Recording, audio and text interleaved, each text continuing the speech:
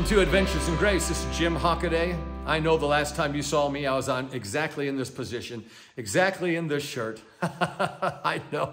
I told you that I had to do a couple videos back to back, and I'm heading out real early in the morning, 5:50 flight, you know, to head from uh, Denver over to Columbia, South Carolina. So uh, I'm just going to jump right back in here where we were. That's why I said see you in a couple minutes. I know it's been a couple of days. Anyhow, oh, isn't God good? Praise the Lord. This is an interesting subject matter. I trust you're enjoying it. Let me know if you are. I always want to just put up there, and of course, uh, maybe we can, sorry about that, maybe we can uh, put on the screen, and, and I haven't looked at these since Chloe's been doing it, and maybe she has been, but jhmi at jimhockaday.com, the email to our website, jimhockaday.com, so that you would go there and write us your grace stories. You say, well, mine is just that, you know, I got an amazing parking spot and someone pulled out at the exact time I pulled in. There were people behind me, so they could have gotten it. And it was so wonderful because it was getting ready to rain. And sure enough, I made it in without even getting a drop of rain on me. So you think, well, I'm not going to write that in. Oh, no, please write that in because as simple as God working with you in the very minute areas of your life is, every one of them is an encouragement and opens someone else's heart to the idea if God can do that for them, then God can do that for me. And so it's important for us to embellish every eh, little uh, convenience of God, every little coincidence, every little working of God, because the more that we do, the more we invite Him to become a part of everything we do, and our experiences increase and increase, not only in quality, but in quantity. So, by all means, do so. Now, we're going to jump into um, the sightseeing theory. I think some of you are well versed with it now. I'll just run over it very quickly. But before we do, number one, we do these videos for God to come out of the pages of your Bible and get into your life. Everybody wants that. Number two, we do these videos so that the realness of God will make faith become more natural and you'll have more fortitude to actually know you're receiving what you ask for and you get answers to your prayers. Number three, that you would have testimonies to share with one another. Now, our verse of scripture that we always use, I always want to give it because it sets the stage for everything that we're doing. Matthew 11, 27 to 30 in the Message Bible. Now, Jesus resumed talking, but now tenderly. The Father has given me all these things to do and say. This is a unique father and son operation coming out of father and son intimacies and knowledge. No one knows the Son like the Father does, nor the Father like the Son does. But I'm not keeping it to myself. I'm ready to go over it line by line with anyone willing to listen. Are you tired, worn out, burned out on religion? Come to me. Get away with me and you'll recover your life. I'll show you how to take a real rest. Walk with me, work with me, watch how I do it. Learn the unforced rhythms of grace. I won't lay anything heavy or ill fitting upon you. Keep company with me, and you'll learn how to live freely and lightly. Praise the Lord. That's a great passage. Go there, spend some time there. And maybe, maybe a few, uh, maybe the next month, we'll pick up on that particular passage and talk about that for two or three days ourselves. So here we are, the sightseeing theory. It's all about your, your hunger, your desire, your curiosity, your passion that moves you to have God or have more of God than you've had at this point. Moves you to continue to pursue until you understand and experience and then begin to regularly experience God in your life. And they say, why are you talking about this? Because people approach life completely different in myriad of different ways. Some people, they want everything of God. Others, as long as they can just get to the building, they're fine because, you know, hey, check me off, I made it. Other people, they're there and then they're gone. And other people, they have frivolous ideas. You know, they just think of maybe their favorite service. I sure hope the service is like this. Oh, it's not. He's going to teach today, so I'm not going to listen. You see, everybody has different mannerisms that they bring into a church service or into a relationship with God. And based on how they see it with their glasses, whether they're clear or colored, they receive multitude of different things from the service and meaning nothing at all. So as we're looking at this, we're talking about and have been reading over in Matthew 27, 1 through 7.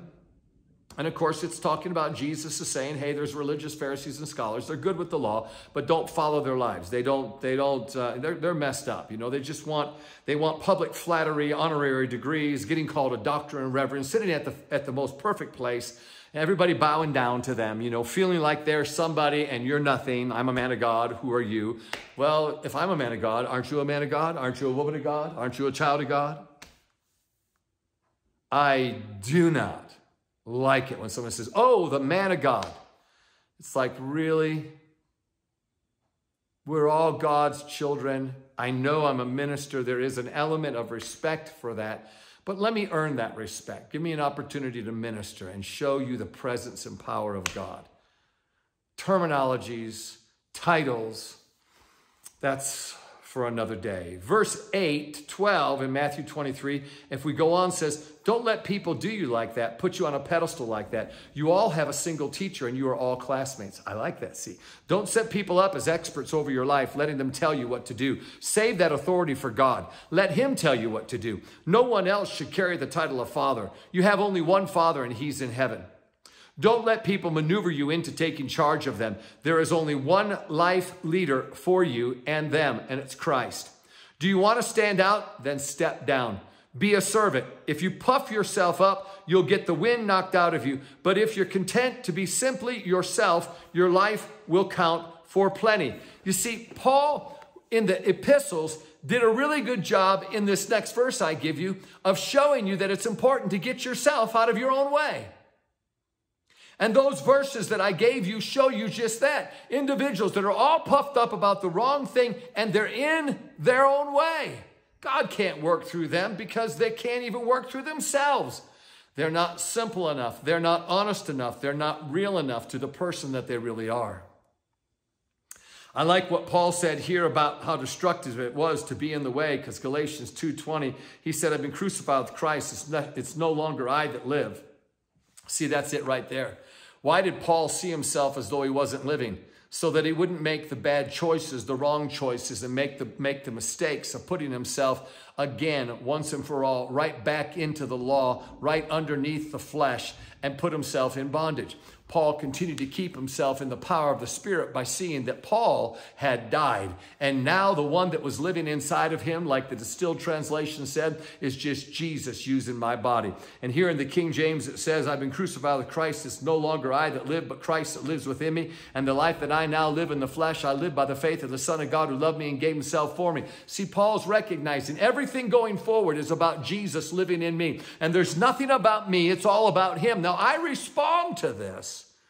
But the way that I see it is with tunnel vision. I'm not looking at the world. I'm not looking at my life behind me or in front of me. I'm seeing only Christ and I'm allowing Him to live His life in me. Your best life is Christ in you, the hope of glory. Colossians 1 27. Praise the Lord. So now I'm over in Acts chapter 26, 17 to 18. And I, I think you'll see where this begins to work with what we're talking about. I'm sending you off to open the eyes of the outsiders so that they can see the difference between dark and light. Choose light. See the difference between Satan and God and choose God. I'm sending you off to present my offer of sins forgiven and a place in the family, inviting them into the company of those who begin real living by believing in me. Glory to God. Isn't that wonderful? Notice the distinctions that are made here. And this is so important that we live a life full of distinctions. This is and this isn't. This is wrong. This is right. This is black. This is white. This is good. This is bad. This is Christ. This is Satan. This is a believer. This is an unbeliever. This is the temple of God. This is the temple of Satan. Why do I want to live that way? Because it's easier to make better choices. Come on, when Jesus talked over in Revelation that he's not real fond of lukewarm, it's better to be hot or to be cold, what he was trying to say is it making a good choice comes from a distinction. If you put cold and hot together to make it lukewarm, what people do is they validate their wrong by a little bit of right. When you look at things accurately through hot or cold, it's a, it's a distinctive decision that is separated by a complete 180 degrees from the other decision that you could make. Now, if I said that correctly, you got that. In other words, I'll say it like this, and I've said this before, and people, you know, they, they probably get, oh, I can't believe you said that. But really, a honky tonk, a strip joint, and a meth lab is really a good place. And you say, why is it a good place? Because it's all bad. There's nothing good about it. In other words, when something's all bad, you go, oh, I don't want that. If something's all good, you go, oh, I want that. I mean, smell those cookies coming out of the oven. And do you think, no, I don't want that? No, no, no. You, you, ha- you are trying to take one before they've cooled. Why? Because they smell so good, it's all good, and I want it. Now, I'm not talking about if you're a nutritionist, I realize you could say, well, there's sugar in there, and there's, uh, yes, I get, I get all that. We're not talking about that. We're talking about the fact that it's a, it's a thing that you desire greatly that is, oh, why am I even getting into discussion? That's not bad. Anyhow, it's when something's all the way bad. Hey, put your hand in this jar. There's a bunch of bumblebees that want to sting you. No, I'm not going to do that. There's a bunch of scorpions in there. They're going to kill you. No. But when there's enough good to validate a lot of bad, and what I just said to you is how most people in the world live their lives. They live their lives in majority of bad and negativity, and every once in a while there's a little bit of good that causes them to feel like the sun will come out tomorrow. And that's how people live their lives. Now, what is there about that life that seems to be the life that Jesus Christ died for to give us? And the answer is absolutely nothing. Acts chapter 26, verse 18. Uh, excuse me, I'm going to go on even a little bit further down here to Romans chapter 12, 1 and 2. Here comes the hail again. I beseech you, therefore, brethren, by the mercies of God, that you present yourselves or your bodies a living sacrifice, holy and acceptable uh, to God, which is your reasonable service. And do not be conformed uh, unto this world, but be transformed by the renewing of your mind, that you may prove that which is good and acceptable in the perfect will of God. Well, I want to read this out of the Message Bible because it's really, really, really good. It says, So here's what I want you to do God helping you. Take your everyday, ordinary life, your sleeping, eating, going to work, and walking around life, and place it before God as an offering. Now, listen to the words here. We're going to see what I just got through talking about about the hot and the cold and the lukewarm. He said here next, embracing what God does for you is the best thing that you can do for Him. In other words, not helping Him out, embracing what He does. Don't become so well adjusted to your culture that you fit into it without even thinking.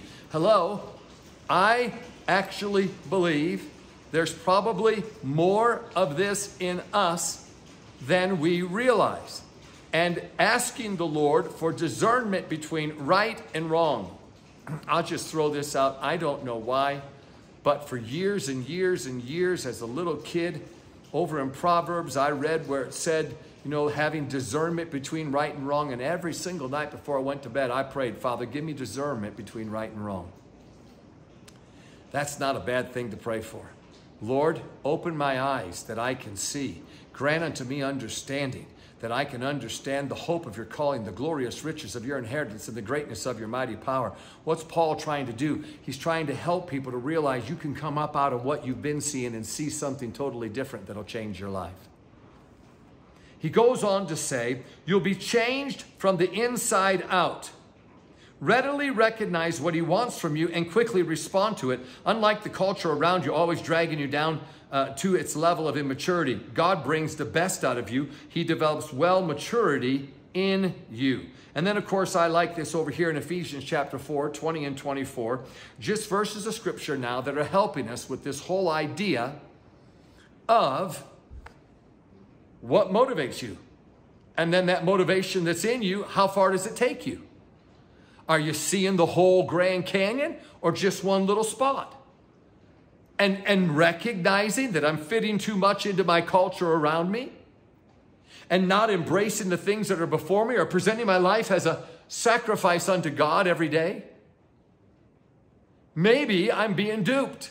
Maybe I don't even know it and I'm reveling in the few little good things that are happening and there's much more negative than I could think of.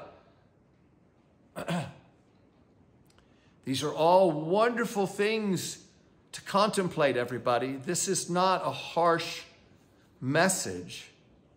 It's just the more accurate and the more absolute the message becomes, the more it pins our hide to the wall and makes us really think. And then what comes out of our thinking is our choosing. We then have to choose. What do you mean you have to choose? Well, that's exactly right. We've got to make choices. And those choices are important that they either connect us to God. Sorry, I'm looking for just that one particular part there. They either connect us to God or they don't. A bad choice. I wrote this down. A bad choice equals sin. Sin becomes your hindrance to your connection with God. Wait a minute, I thought sin wasn't a hindrance. No, no, no. He's already paid for your sin. Sin's already under the blood. It's not hindering God working with you. But a bad choice puts you in a bad position, takes you away from the tangibility of God, brings to light the tangibility of the flesh and the world, and that becomes your hindrance to the unseen world. See, the idea that Jesus said to the disciples in Mark chapter 9, this kind comes out, talking about that devil coming out, this kind comes out by prayer and fasting. What he's trying to say is prayer and fasting is what sensitizes you to the spiritual things or to the spiritual world and the spiritual world being real, then your operation in that spiritual world becomes very natural. And out of the natural operation in the spiritual world, answers to prayers become, of course, they become just a norm, not something that you are just pleading with or begging God for, but something that's just expected, natural, regular, every day. See, bad choices put you in line with or in focus with the flesh and the world. Yes, it's already covered through Jesus Christ, so God can still work with you. Well, I don't believe that God's not going to, you know, He's not going to forgive you if you don't forgive. That's under Old Covenant. That's under the Old Covenant. Someone you want to argue with this, it's under the Old Covenant. I'm just telling you, you're wrong if you think that's under the New Covenant. Yes, we are to walk in forgiveness. And the reason why we're to walk in forgiveness with one another is because we're walking under the law of love. But God has already forgiven you. So whether you've forgiven someone or not, He's there to forgive you. And He is there, praise the Lord, to work with you and bless you because He's already forgiven you. Under the old covenant, they weren't forgiven. So see, it was under the law. Come on, it either is or isn't, everybody. Well, man, I think you still have to walk in forgiveness to have God work with you. Well, then you're working by your works.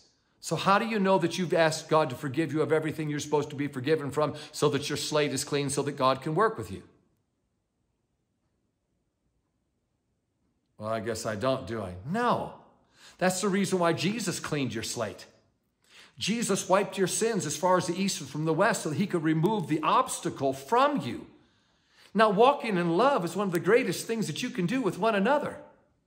And remember, bad choices, to be in a place of unforgiveness with somebody, is not that you can't appropriate your healing, but the more you entangle yourself with the flesh and the world and negativity, the more that becomes a hindrance to your faith. Hallelujah. Thank you, Lord. Okay, let's go a little further here. I'm just going to leave that one alone. And oh, it's already I'll tell you what, we'll have one more of these, okay? And I'll go ahead and give you the next testimony that we have. It's really good. It says, My grace stories that I discovered, the Adventures in Grace video series, after seeing your interview on the Victory Channel with Kellie Copeland Show during a time of great challenges. The Lord made it clear to me that I should listen to the first series, Real Christianity. And there, in part eight, I found the following words which have become very precious. Stop trying to figure it out. Just trust God. In other words, if you're willing to lose something, that's when you can have it. If you're willing to die, that's when you can really live. And if you're willing to be wrong, that's when you can be right. When you just give up, that's when God takes over. People have asked me for years, how come it seems like God seems to take so long to heal somebody? And I share with them, well, it doesn't take God long. It just takes long for people to get out of the way until God can move in and do something. And then she said, ouch. I know that's not necessarily fun, but that's a result of the religion. And the reason why we're sharing these things is to remove you from the old mindset about how much you got to do to impress God, so that He's finally going to do something for you that He already did in Christ 2,000 years ago. And I don't know how He can impress you any more than to have Jesus hang on a cross and blood to pour through his body because he was willing to take the bondage of your sickness and your pain and to take all your oppression from the enemy upon his life so that he would die, go to hell, and remove it all and raise you up to live like he is living right now in the purity and holiness and the freedom from sickness and disease and pains and struggles and the crisis of life so that even when crisis comes to your relationship with God, or relationship uh, with God will cause you to put up a front, resist it, and continue to walk in the blessing, the peace, and the health and deliverance of the Lord. And then she said, in spite of recent challenges, there have been great grace stories as well. When my heating broke down last winter, I had to heat the wood stove. My supply of firewood lasted exactly until the end of the heating season. Then she talks about living in another country and uh, some things concerning some of the work that she does so wonderfully for ministries concerning translating books and all. And thank the Lord for that. Thank you so much for that grace story. It just shows us, amen, God will lead you to the right place at the right time to experience the most wonderful and right thing. Well, the last two videos I've gone to 21 minutes, and I'm sorry about that. Next video, we're going to go just 17 minutes because I tell people they're from 17 to 20. So I want to go ahead and do a 17 minute video next time. Hey, you guys, appreciate you so much. Remember, go to jhmi at jimhockaday.com and send us your grace stories. See you later.